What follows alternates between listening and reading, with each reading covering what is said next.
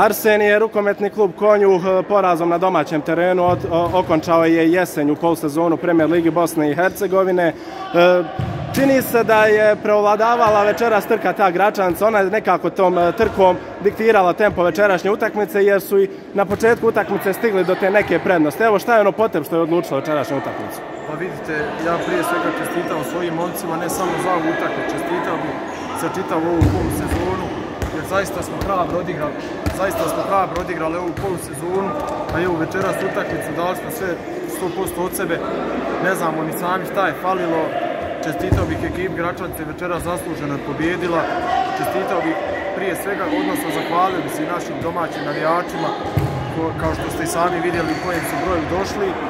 Šta je presudila?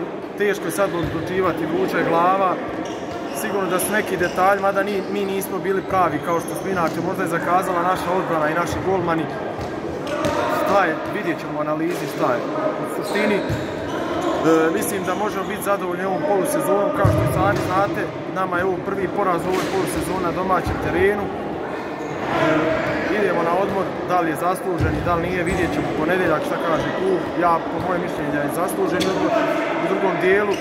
Nadam se da ćemo sigurno kod će ostati neporaženi. A u gostima, kao što vidite, mi gdje god odemo u goste, svi nas se boje. Otišli smo u Ljubuški, mogu reći slobodno da nisu imali neko suđenje kao što je Gračanca večeras imala. Ovdje niko nas lako ne dobija nigdje.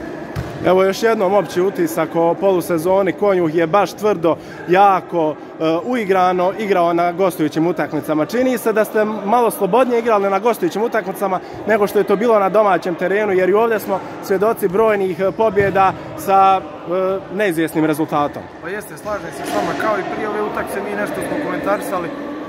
hajde da igramo kao u Zavidu. Onda smo došli do zaključka da zapravo mi na strani bolje igramo nego kod će. Šta je razlog, to mi ne znamo mi igramo, ne možemo reći da smo toliko opušteniji na strani, pogledajte samo kad igrate kod će ovu publiku koju nemamo na strani.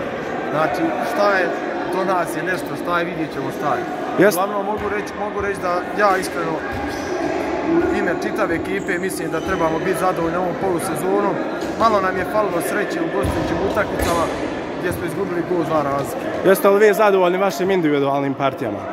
Pa, šta da kažem, jesam zadovoljan, ali uvijek može puno, puno bolje. Predstavim dalji rad, kako na polu sezonu, tako u drugom dijelu. Nadam se da će biti puno bolje nego u dijelu, ali mogu reći da sam zadovoljan. Gospodine Bubiću, hvala vam puno sreće u drugoj polu